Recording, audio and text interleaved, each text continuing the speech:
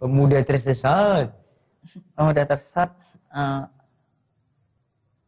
manusia manusia manusia yang gue cintai. Oke. Mereka adalah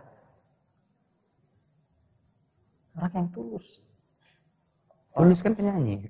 Eh, Oh, bukan ya? bukan. Bukan. Sorry, sorry. Orang yang tulus gitu, Ya. hatinya bersih, pikirannya jernih. Ya. Gue dapati banyak sekali pertanyaan-pertanyaan mereka yang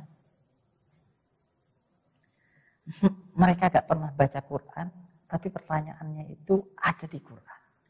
Contohnya mereka bilang, bisa nggak kita nanti di surga WA-an dengan penghuni neraka? itu ada di dalam surah Al-A'raf ayat 44. Dan nggak mungkin kayaknya mereka dapat itu dari Al-Quran. Ya. Ya. Karena Al-Quran itu memang ada sih di HP mereka. Biasanya di-download sama mereka. Tapi setelah di-download nggak pernah dibuka. Yang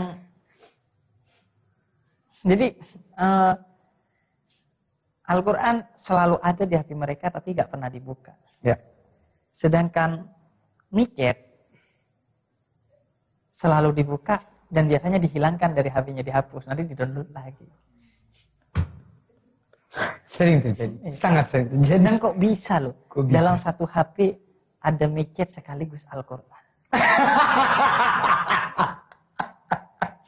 Kalau Quran bisa ya? ada, kegelapan itu hilang. Betul, betul, betul, betul. Itu ada loh. Itu ya, ya bener, ada, ada. ada.